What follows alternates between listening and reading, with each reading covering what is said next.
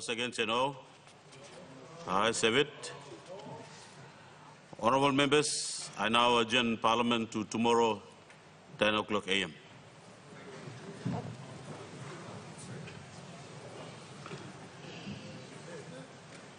Thank you,